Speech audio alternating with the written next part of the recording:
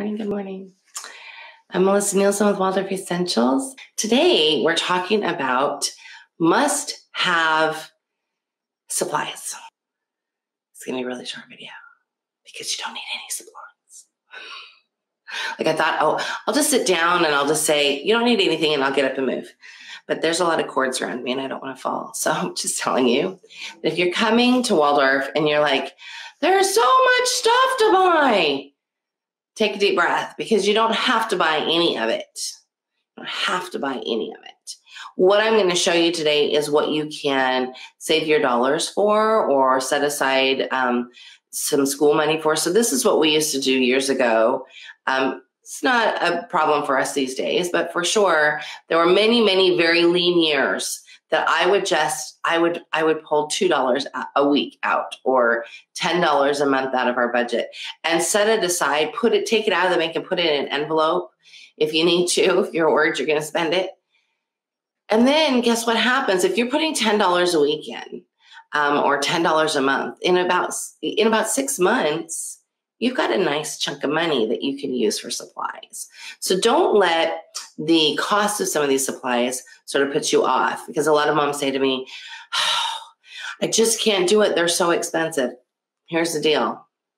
They last for years and years and years.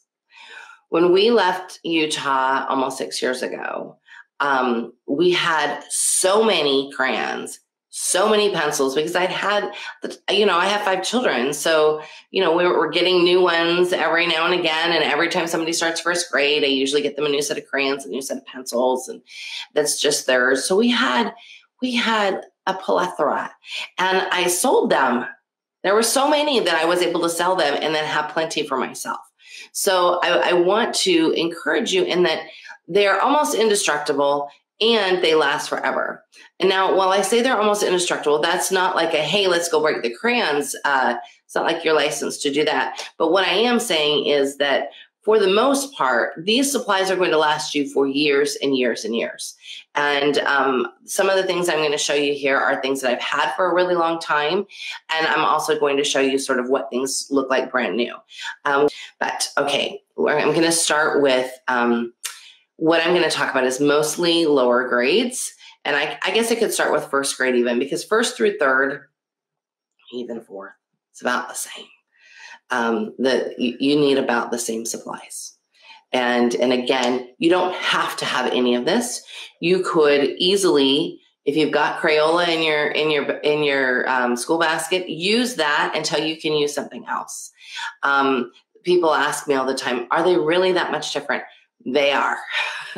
so when you have the opportunity to use a very good beeswax crayon, and, and my preference is the Stockmar brand. I know that the there are a lot of people that like the Filanas. I don't like the Filanas, and and it's not like a, oh, I think they're horrible, don't buy them. That's a personal preference for me. I've used them, I've used the blocks and the sticks, and they're not my favorite. They they still I still go back to Stockmar every time. So I I think what I noticed, and I, they may have changed. So um, in the last year or two. But when I first tried them, the breakage they, they broke very easily. Now I don't know if they broke easier because at the time they were not wrapped in um, paper. So um, if you've had really good success with those and you um, love them, please feel free to post here that you love them. I am okay with that. I'm totally okay with that. Um, I, however, really like. Um, I really like the Stockmar crayons.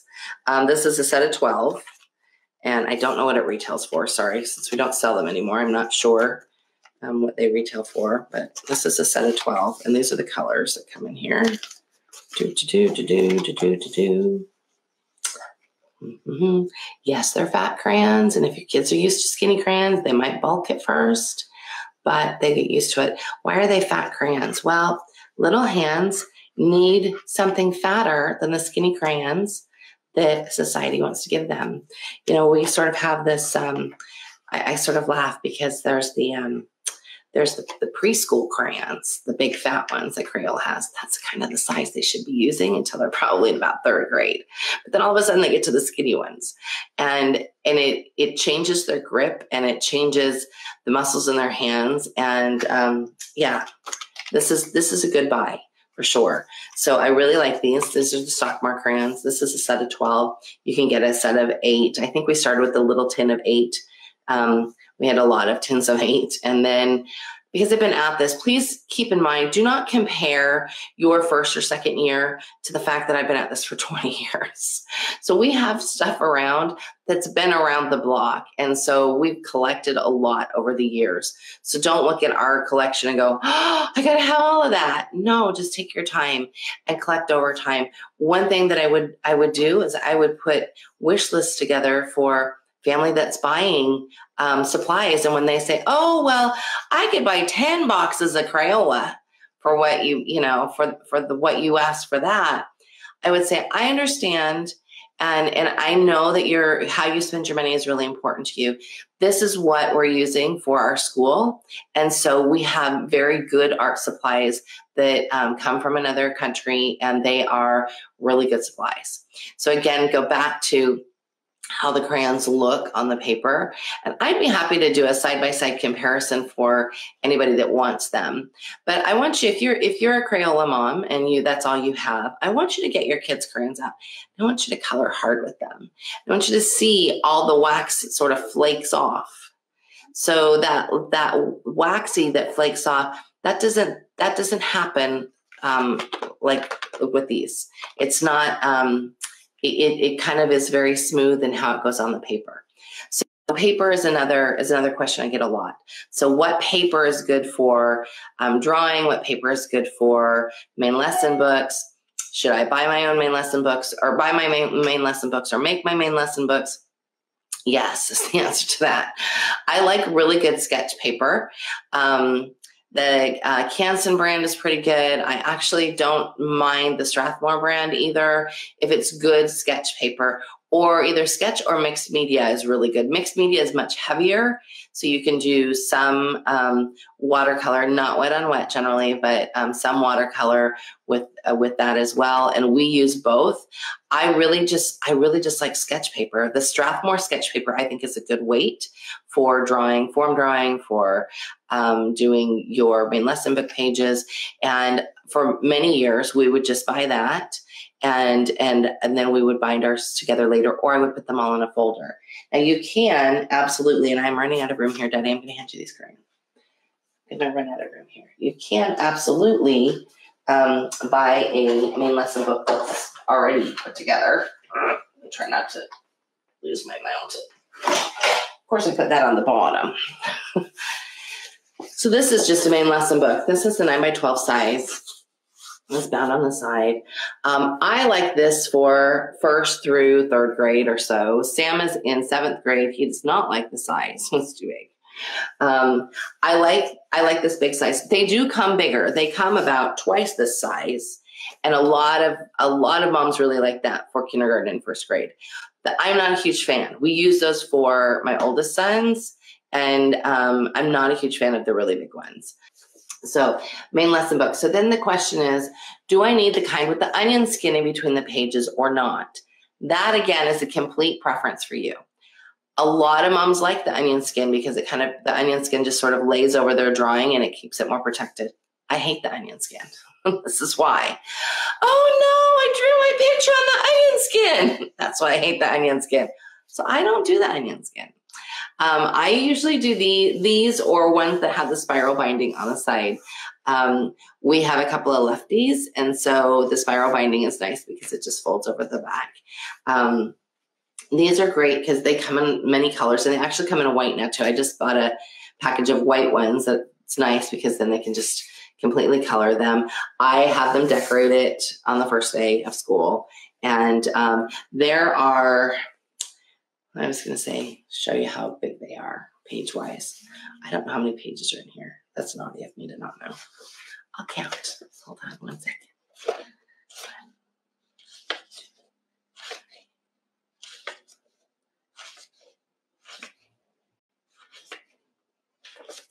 So 16, so 32 pages back and front. 16 and then back and front would be 32. How many of these do you need a year? Really depends on your child and it depends on the grade that you're teaching. I start with about five. And then we go from there. Sometimes we don't get through five, sometimes we go through eight. Um, and I that's one reason why I kind of prefer sketch paper often, and then we bind them together at the end. How do we bind? Um, we can bind them with, um, you could do a post binding at the end. You could sew them together. You could do, um, they make this stuff that you can glue on the side and then post or bind it together. Lots of ways. Or you can just put them in a nice portfolio. We've done that too. We actually, that tends to be what I do the most is put them there. But we have been using back to main lesson books um, from sketch paper for the last few years. So so there's that. Um, I wanted to hop back to crayons for a minute. Do you need block crayons? Yes, yes, you do. but here's what the thing: you only need these three. Especially if you're you're working with um, Sieglinde DeFrancesca's videos, or you know you're working through the videos on our site, you only need these three. You don't need a box of all of them. In fact, I don't even have a box of all of them anymore. I don't. I used to, and then when we moved, um, when we moved six years ago, I just got rid of all the other colors because I don't need them. I, I seriously do not use them. And I know if you're using, say, um, uh, the folks over at Waldorfish, I know they use all the colors, but for what I do, I and I, I don't use their their block crayon drawing. I use um, Sieglinde's. I use only three. Um, people ask me why. Well, so I really believe that learning to color with block crayons and only using these three and learning how to blend the colors because these three colors make all the colors of the rainbow, that really helps develop the will. It might make it might make kids mad, but that really helps develop the will. And over time, they'll get better and better at it. And keep in mind, you're only block crayon drawing for mm, until about third grade or so. And a lot of kids by third grade are ready to move to more detailed drawings. And um, definitely for fourth grade, I always use these for background though. For background, it doesn't matter what I'm doing. If I'm doing a um, something with colored pencil, this will usually be the background. We usually do a wash of this on the background and then bring in our colored pencils. Can I hand you these two so they don't break the floor? Okay, so there's that. You can buy those. Um, I know Pamela over at Meadowsweet Naturals has them in sets of three, like that. So let's talk about colored pencils. Colored pencils. These are Soraya's colored pencils. And hers, she has this nice little pencil roll. I should roll it up so you can see it. This is the set that I bought her when she started first grade. It's cute little, of course, it has unicorns on it because it's my kid. um, these days it might have like unicorns on one side and Godzilla on the other side. I don't know though. It's not where she was in first grade, but it's definitely where she is now. So this carries all of her pencils. It's a longer one, so when she gets taller pencils, like I really like this size. This these are the Ferby shorts. Um, they're made by Lyra, and you can get them from anybody who sells Waldorf supplies. Um, they're short and they're nice when they're in first and second grade. Then they're being short because they um, are balanced and they're not so heavy. The taller pencils get a little bit heavier, and so they're a little bit harder. So people will say to me again, why good color pencils over, say, the Crayolas? Well, again, and I guess when I do my side by side comparison of the other things, happy to do my side by side comparison of pencils too. Um, the pencils are, they have rich, rich color and they last forever. So I would say not necessarily this bag because these are mine. These are mine. These are not the kids. These are my personal pencils. Um, I have them in a bag and I carry pencil sharpener with me all the time. I would say that the pencils, a lot of the pencils that we have, because we have a, a, bin upstairs, are more than 10 years old. And um, in fact, the pencils are so sturdy because you know they're they're encased in a good thick amount of wood. Um, the only way that my kids have broken them is by running them over with their bike. Thank you, Jacob. um, um, but he's the only child that would think to do that. Seriously, uh, maybe y'all have some kids like that. Love him to pieces. But yeah, he's the only child that would ever think to run it over with this bike. I wonder what would happen if I ran this over with my bike. Yep, it will break. But guess what? It broke in half and we still used it. Like it's around here somewhere. It's like the broken pencil from when he was eight years old is is around in this house somewhere because it's still like it's still a perfectly good pencil. We still use it, um, even though it broke in half. So I I would say these are an investment that you will buy once and you will use all your school years, all your school years. So this is my personal set. Um, it's a it's a combination of um, the Stockmar ones, and I also really like, really, really, really like these. Um, pull them all out of here. Um, they're not all in here because even though these are mine, sometimes my children like to take some of these these pencils. So these are, and they're not all here, but these are skin tone pencils. So you know, skin tone isn't just this. Skin tone is lots of varying colors of tans and browns and dark browns. I love these pencils. These pencils are great. Um, so I would say they last forever. They last so long. And um, yeah, I have a huge testimony of these pencils. Also, they're fat and triangular, which I know, again, if that's not what you're used to, you might be like, this doesn't feel good. It actually, your hand will thank you after a while because your hands get less tired. I do allow my big kids when when they're about 13, 14, I will buy them the, the skinnier Lyra pencils. And the equivalent to those might be um, the Prismacolor ones that you can find at the art store. Those would be a good, um, you know, if you're if you're shopping at say like Blick's in person, you can find some really good supplies there. Um, there are some stores. Every now and again, I'll walk into an art store. Not Blick's. I've not seen it at Blick's, but we were someplace in LA, and I walked in there, and I was like, "Oh wow, they have Lyra in here." So um, excuse me. Was it a Little Tokyo? It was in Little Tokyo. It's a Little Tokyo. It was that um that bookstore. Yeah. That had they. It was supposed to just be a bookstore. I walked in there and it was like all these pens, all these pencils. I was in heaven. I was in heaven. It was great. Oh, okay, question. so your question over there. Do you have a sharpener that works well for those? Our sharpener yes. for thicker pencils eats them this one. You buy the one that come that, that you can get from I don't even know what brand this is. Made in Germany. I like them too because oh, hopefully of oh yeah, it's not. You can buy replacement blades. So about once a year I go through and check all the blades, make sure they're sharp enough. Also, one of the chores in my house for kids is to make sure all the pencils are sharpened, like once a week. I have to sit down and sharpen the pencils because I don't want that. I don't want that business happening when we're trying to draw. I want them all to be sharp. Crystal L. Farrell asks, I have two ADHDers. How do you keep your items safe? And what's your process for discipline with using them cautiously? Okay, so my kids have grown up with these supplies. Um, you say you have two ADHDers. I have like two kids on the spectrum. I've got, you know, Jacob probably would have been labeled ADHD when he was a kid. Like that, I have busy kids. I don't have, I ha- don't, I do not have docile kids. People always ask me, how do you get them to do that? I just do. Because guess what? I'm in charge. I am. So when I say you have to be nice to these, or your or your dollars are going to go to replace the pencil with the with this bike. Guess what? He ponied up four bucks for a new one, even though it still worked. We bought a new pencil.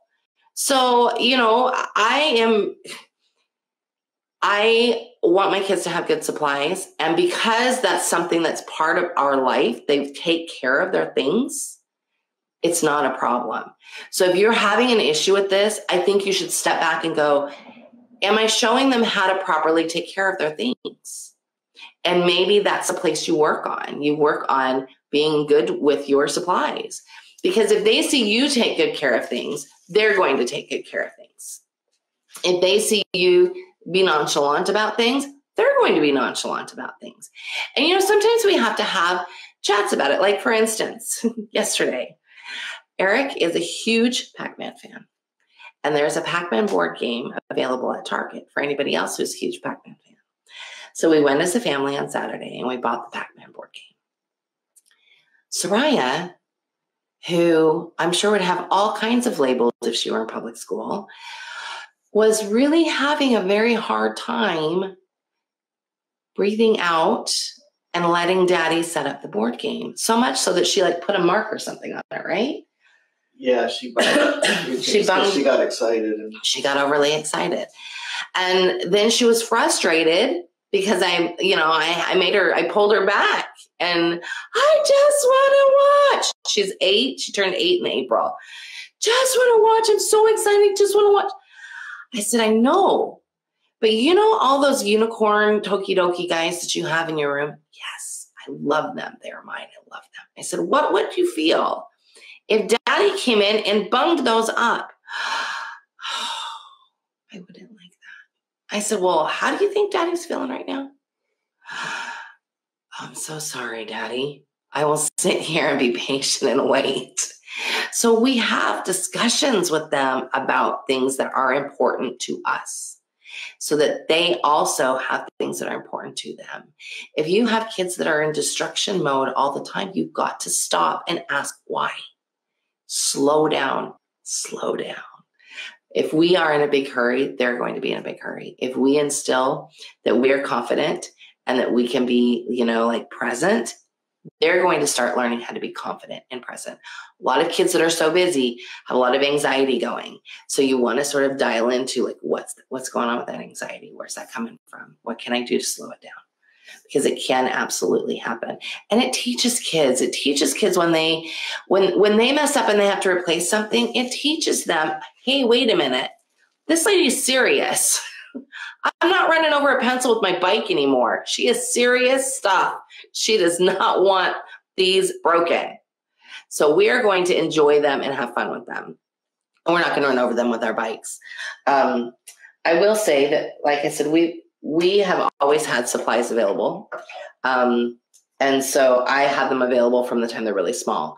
And this is one of those things. This is something that Soraya, this was Soraya's, and I just bought her a new one. I took this one because I have we use it for co-op, and um, and I was not going to ask her if I could use her new one for co-op. So I'm use I gave her a new one, and I'm using this one for co-op. So this is a paint palette.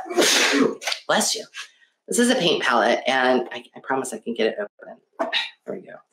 And we have had this one since she was probably three, and at three, she could. Um, get a, we have these cups little um, these there's these great cups i don't have one down here but they're by melissa and doug. If you look them up they're on amazon. I think might even be in my amazon store. Um, they're by melissa and doug and they're come in threes and they are spill proof paint cups. And i know they're probably intended for like tempera paint but that's not what we use them for. We use them for water. Um, there's a fill line in them that's about this high the cup's about this high the fill line goes about here um, you fill that with water, and then there's a screw on cap. And the screw on cap goes all the way down, and then there's a little hole in the top of the cap. So if the cup gets spilled, the water doesn't come out. We've taken those cups in the car, on the airplane.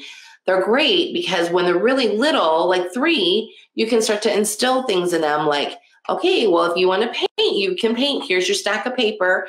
And we just had, you know, like a ream of computer paper. Okay, thank you. I just got green paint on me. We had a of computer paper that she could always get to. She, you know, grab her paint palette. These are great and they're really rich colors. Even my even my adult daughter used them a lot, and she's an artist. She grabbed her paint palette and it was available for her to get. It was not up high. It was available for her to get and use. And so she would get that, and then she would get. Um, we have these really nice fat brushes. And I'm going to talk about the brushes for a second. She'd get the brush and she'd get her cups and and she'd be fine for hours. Hours. So, now granted, she's a particularly odd child, but she would still be fine for hours just painting on her own because I put some responsibility in her hands, even at three. So she knew that, hey, I can get this. I can do this on my own. I can paint whenever I want. I can draw whenever I want. I keep all of these art supplies within reach for kids.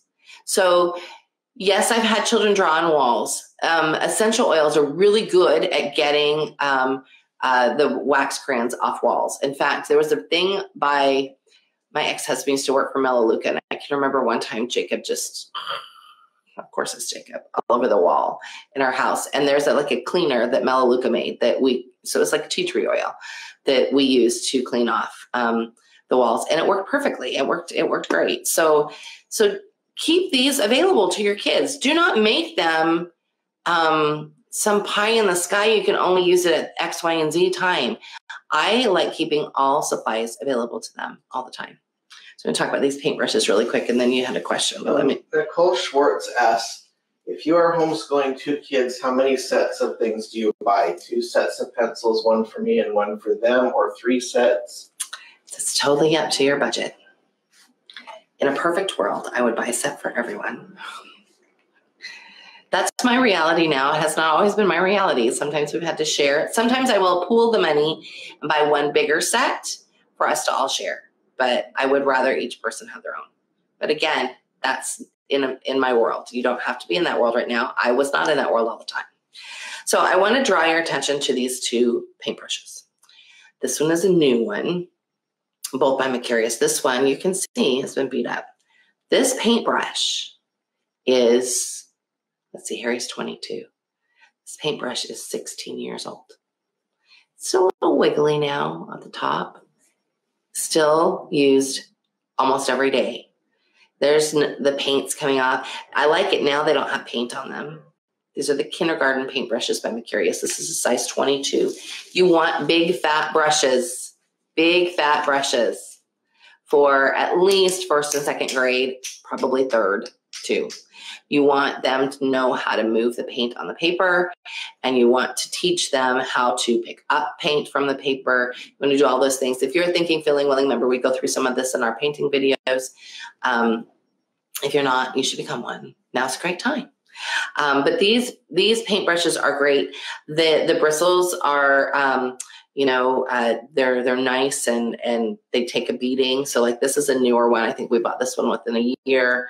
This one, like I said, is about 16 years old. It's still in good shape. Still in good shape. So um, still same size. These are both a 22, I think. So you want big fat brushes. And and we use that. These are the brushes that were available to Soraya with her paint palette when she was little. And um, also with the paint palette, I will say this, when they're little, because there's a lot of colors here, I only put four colors in here at a time. Because these pop out. So it's so nice. You can pop them out. Pop them back in. It's nice because if you only need to replace one color, um, then you can. But I would only have a couple of colors in there at once um, especially when she was little. So, you know, and then, then as she tur- got older, she might have some complementary colors in there. Now she has them all. In fact, she said to me when I bought the new one, she goes, oh, I get to keep all the colors in here. I said, yes, you do. Um, my reason being because it, it you want them to play with color when they're little and learn how to mix and um, see what colors come from you know the primaries. So um, that's my reasoning behind there only being a few colors when they're little. Okay, let's see. Let's talk about beeswax. Beeswax. So again, you don't need any of this. This is just fun stuff that you can that you can have. Steiner said you could model from the mud in the road. So um, don't take like beeswax is wonderful, but he didn't have beeswax in the first schools. He didn't have any of this stuff in the first schools. All right, so keep that in mind. All of this has been created after, so they worked with what they had. Um, while this is great stuff to have on hand, it, you don't don't beat yourself up if you can't. Um, this is a larger set of beeswax, about once a year. No, that's a lie. This this one this box is probably two years old. I buy a box, a bigger box. I like the bigger box because it has all the colors, has more colors in it. The box of 15 has got, uh, I'm to see if I can do it this many colors in it. And um, like, what do you do with beeswax? Beeswax is great for modeling. Again, if you are one of our students, hop over and check out the modeling lessons. Um, beeswax is hard. So if you are somebody who's like, I just, I can't make this work. There's a lot of moms that hate beeswax until they realize, oh, wait a minute, I can warm it up. And then it's actually quite fun to work with. So unless you have a husband like mine who seems to be able to turn everything into putty, um, you know, you're going to get it like this and that's going to be hard and you're going to try to figure out what, like how you get it to do what you want it to do. So you want to warm it up. Um, you want to put it, you put it in your bra, you put it in your armpit. I have kids put it in their armpit before I start a story. I'll give them, and you don't give them the whole piece. I give them like, you know, half or a third of a piece. And um, and in this comes, there's actually a handy dandy little guide in here, how to guide. But I will give them, um, I will give them like a half a piece before I start a story and have them either put in their armpit or in their knee pit or in their elbow pit and it gets it nice and warm. Or if all else fails, we'll hand it to dad. You could also put it in a baggie and put it in a pot, a bowl of hot water. That's that really works. Um, we've even taken that to co-op. We've taken hot boiling boiling hot water in a thermos, and um, I've taken a bowl and um, put the you know hot water in the bowl, and then put the beeswax in there, and it gets it nice and pliable. So beeswax is a great thing to have on hand when you're working on modeling for the early grades. You can also use clay. We've used clay quite extensively. There is a thought that you don't want to use um, heavy earthen material with younger grades, but I kind of do anyways. I, I think that it's from the earth and Steiner would have used it, so it's okay. Yes. Melinda Gibbs says, I just ordered the natural colored wax. Did you say if colored was? Oh no, I like. Here's why I like the natural colored wax, um, because then nobody fights over who. I want pink. I want blue. so for many years, I just bought that. But I do, I do like the colors. I mean, we especially when you're doing something that you want to show color. So we do a lot of beeswax modeling in fifth grade with botany, and so you want there to be a lot of color for that. Um, I would say my funniest beeswax moment was one time. Um, so I often will take beeswax to church and to keep like little hands busy and mouths quiet. so um, I remember we were sitting in the pew. It was before Soraya was born, and Ellie and I were making these like beautiful little angels. So reverent, so reverent. I had handed beeswax to Daddy and the boys. But I wasn't paying attention to them just making these angels. It was like near Christmas time. Making these angels were so we were so proud of our our little angel. Then I look over and Daddy's got Pac-Man and ghosts along the end. He like has them actually sitting on the edge of the pew. Do you remember that day? Somewhere that picture still around. Probably so. We had three boys at the time because Samuel was probably two, maybe it was funny. It was funny. Um, but we often take beeswax to places that people go, "What is that? And where can I get some?" So, um, you know, I'm I'm usually like giving my beeswax away to people. Um, so, anyways, that's beeswax. Again, you can also use clay. I buy a hunk of clay every couple of years, and we use it a lot. I, extensively use clay um, with things like um, geometric modeling when they're older, and but I also use clay when they're younger, especially if they're having um, fine motor issues and you're trying to get them to really use their hands. Clay is a great way to work with that, and you sort of start with um, forming a, a, a, ball or a sphere, and then move um, on with other shapes from there. Okay, what have I not done? Let's see. Oh, how about these pens? So this would be for the older child fountain pens. These are actually not very expensive. These are pretty, these are pretty, um, you know, well priced. So these are the fountain pens that are by Mercurius. They're for kids. So, I mean, I have one too. I actually have a really nice glass fountain pen. My children do not use. Um, but so so this is i like these a lot because they're easy to take care of there's a wooden barrel and um, then the ink sits in there. Oh, Samuel needs more ink in here. Um, I s- sort of stole his. There's an ink. You put the ink well in there, and you just pop. It just pops in. Um, fun fact: that's a actually a standard size. The ink, the thing of ink. So you could go to like Michaels and buy others because they have them that fit in here. In fact, I'm seeing. I think this is green.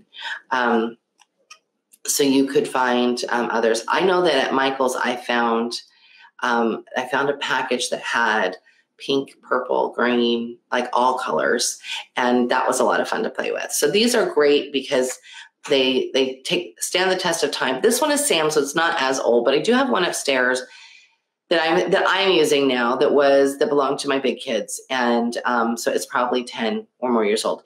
Then there's this, and um, I had used this I think with my bigger kids, and then I had forgotten about it. And my dear friend Anna Catherine said, "Hey, aren't you using this corrector pen?" I was not, but I am now. So this is a corrector pen. It's great for them to go together. they make a mistake, they're not freaking out. This is the correction part, and then they can rewrite it.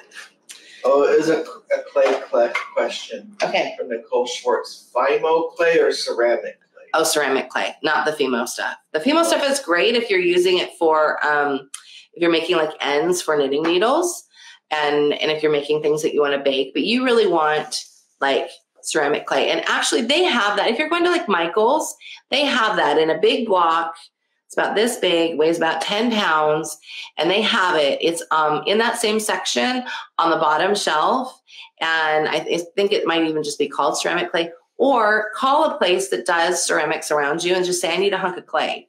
And, and it's usually pretty cheap. I, I would say less than $10 and it'll last you a year. okay, so this is this is the last thing on my list. Knitting needles. Knitting needles So there's some handwork supplies. So, you know, starting in about first grade, I actually like to make, we make our own knitting needles in first grade. So, how do you do that? So, this is not a set that I made, and I don't know why I didn't bring a set down that I made, but I can post them on Instagram later. I'll post them in our stories later. Um, and when we do, I'll do a video that's kind of comparison, but I'll show you. So, I get dowels that are are about the quarter inch size. So They're teeny with the and and I like the six inch, but we are the I usually buy like the the nine to twelve inch, but then we cut them down, cut them down so that they're about six inches for first knitters. Then we take that Fimo clay and I give them two or three colors and I let them have at it and they make ends for them. And then we bake them and then we glue them on. If you have been following us for a long time, you probably can imagine there's a picture that I have that that has a whole bunch that we did for co-op because we do this for our co-op every year. All the first graders make new knitting needles. So um, so once you've got the dowel, we sharpen it with the same sharpener that I just showed you. Sharpen it up, um, and then I make them do sand, take sandpaper and they sandpaper it down. Um, you want the ends to be not crazy sharp, so you're going to take the sandpaper across the end too, so that it's a little bit dull, um, but you want it to be really smooth. So then after the sandpaper, then we go over it with um, some beeswax. I like beeswax polish. Um, I don't have a specific brand that I like. I've, I've used actually a couple, but you want to use like a nice um, natural polish that will um, soak into the wood. So I, I rub that on, have them rub it on, and then I let them sit for a week. And then they're ready to use. So, and you don't have to let them sit for a whole week, but definitely for a couple of nights, have them sit. Um, and then we use them. So, beyond first grade, like when they outgrow those first knitting needles, because those first knitting needles are great for those smaller projects. But as they go into second grade, they're going to need longer needles for longer, for bigger projects. Stick with wool, or not wool, wood, sorry. Stick with wood.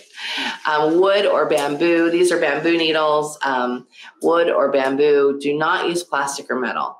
Plastic is kind of it's plastic. It doesn't it doesn't do very well. Metal will pull the warmth out of your hands and it will make your hands tired faster. So you want good needles. Now I will tell you these are clover needles that I got at Michael's I think they were probably six bucks. They were not crazy expensive. I have some really nice expensive needles, some Brittany needles, and some um, other needles that were nice and beautiful and expensive. But these are not those. These are still great needles. Um, and a great place to find pretty needles that aren't crazy expensive is knitpicks.com. So I like to dye yarn with um, our kids at co-op. And then when you're, if you're not in a co-op, dye yarn with your kids at home. Um, we've got a lot of information on like how how do you do yarn? We just do it with Kool Aid. We, we buy Kool Aid. That's like the most fun that I ever have. Whenever I go to buy it, the people are like, "What the heck are you doing with 500 packages of Kool Aid?" they always get the weirdest looks. You guys are gonna have fun. And I go, "You notice there's no sugar here, right? I'm just buying the Kool Aid." um, so you want to all of the colors that are there will make will make the colors you need for And one your of the best places in San Diego to, to go. to Yes, find the most colors of Kool-Aid, like including food the for ones, less. including the ones you don't know exist. I know, and there sometimes it's really hard to find. There's some like obscure colors, and you find them, and you go, they make the most beautiful yarn. And um, so I'll just tell you the process really quick. I don't have any down here. I should have brought. I had some upstairs, but um, so we put it in a mason jar a larger mason jar, not a giant one, but a larger one. You can do about 30 yard, 30 to 60 yards at a time in a mason jar. You put the, um, I put one packet of Kool-Aid at the bottom with um, about three tablespoons of vinegar. And I don't usually measure it. I just eyeball it like this much vinegar and then the Kool-Aid on top. And then I dump the yarn in and then I fill it all the way up to the neck of the bottle. And then I put another another packet of Kool-Aid on the top. Screw the lid on, shake, shake, shake, shake, shake. Make sure you shake it all around, get all that Kool-Aid mixed in there with that wool, stick it in the sun. And what will happen is the sun will do all the work. So you'll know it's done because you'll go out and you'll look, and all that's left in your bottle is water. And all of the color will have impregnated into the yarn. But it has to be good wool yarn. Um, it does not work this way with cotton because cotton is just uh, it's just different. The process for cotton has to be a little harsher because the fibers are different. So it works really well with wool. And um, it, it's so much fun. I love to have like a rainbow of jars on my banister outside at our house. And then, and then, you know, we, we um, rinse it and we have so much fun. Um, so the question over here, what kind of yarn would you use for it? Sorry, I missed it. Wool yarn, good wool yarn. You can find, um, I like at knitpicks.com, I like their bare wool of the Andes yarn. It's, it's just natural and it comes in a bunch of different weights. I buy bulky weight for the young kids. For the you know first and second graders, they usually get a bulky weight yarn, and um, with that bulky weight yarn, because you've got knitting needles that are only six you know six inches wide, um, you want to keep their projects to anything that's under about, you know, 16, 15, 16 stitches so that they don't fall off. Um, so those first knitting projects might be a pot holder, or um, for us, for our kids at our co-op, we're doing. We have two mamas about to have babies, so we're going to make some quilt squares, and then they're going to put them together. And we've done that before. That's been a lot of fun. So I think that was all the supplies that I brought down here. But again, I want to emphasize there's nothing that is mandatory for you to buy. Take your time, build it up, have a good time with it. Don't let it stress you out. Don't let it be something where your husband's like, I can't believe you spent this much money on yarn. I can't believe you spent that much money on crayons. Instead, you kind of want to sell him on it and buy it slowly if that's an issue for you. If it's not, have a good time. Have a good time. This stuff will last forever and um, well maybe not forever but for a long long long time. And um, it just it stands the test of time and the the results that you get with them. These supplies are beautiful. So the paint palette is not for wet on wet watercolor. The Stockmar paints are my favorite for wet on wet watercolor. You can buy stuff at the at the art store. Mix it yourself. Yes you absolutely can I like the Stockmars because they're like a they're thick and then you you add water to them and the colors are beautiful. If you are just starting out, I highly recommend just buying the three circle colors. Circle red, circle yellow, circle blue. Because those three colors will give you all the colors in Goethe's color wheel and will be perfect for all the, you know, spectrum painting that you're going to do for first and second then you can mix or buy other colors as they get older. I'm kind of a hard mom. I kind of still make them mix it on the paper or allow them to mix it in a cup and use that. Um, I'm just kind of snarky that way. I like to build the will. I'm all about building the will. Otherwise, good paint paper. So again, don't soak Strathmore paint paper. if you do, don't soak it for very long because it will fall apart. So paint paper you buy at like Michael's or the craft store, it's like cold pressed. So it's different. It's different than the paint paper you're going to buy from, say, Mercurius or that's uh, designed for wet and wet. Wet and wet paper is designed to be soaked, and and so it's not it's not doesn't have that same quality to it. So they're they're very different. So if you've got stuff from the craft store, that's great. Just don't soak it.